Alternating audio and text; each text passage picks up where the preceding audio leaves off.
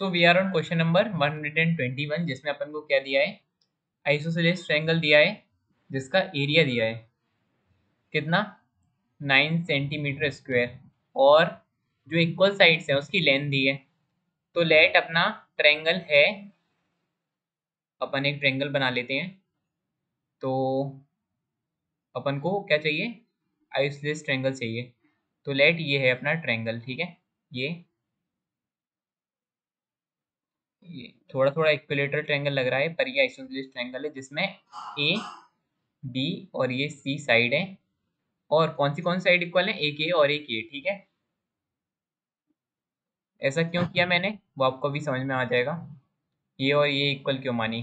क्योंकि मेरे को बेस ए भी चाहिए था। अगर मैं बी सी को बेस ले लेता तो मेरा फॉर्मूला क्या होता है? एरिया का हाफ़ बेस इंटू हाइट तो जो बी सी है, उसकी अपन को लेंथ तो पता नहीं है। ठीक है इसलिए मैंने बी सी को इक्वेशन से ही हटा दिया। मैंने सोच आ, मैंने सोचा ए बी को बेस लूँगा मैं ठीक है?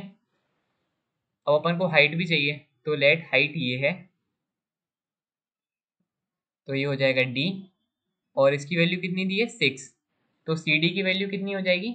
सिक्स साइन ए ठीक है? इसमें ये है एंगल ए और अपन को एंगल ए की ही वैल्यू निकालनी है ठीक है? क्या दिया है उसको क्या निकालना है? The angle between equal side ठीक है? Which is further equal to ये हो जाएगा नाइन सेंटीमीटर स्क्वेयर तो ये हो जाएगा वन बी की वैल्यू कितनी हो गई? बेस मतलब ए बी तो ए बी कितना है? सिक्स सेंटीमीटर और हाइट की वैल्यू हो गई सिक्स इंटू साइन ए और ये किसके इक्वल है? नाइन इसको अपन सॉल्व करेंगे तो साइन ए की वैल्यू कितनी आ जाएगी? Nine into two upon six into six which is further equal to eighteen upon thirty six one by two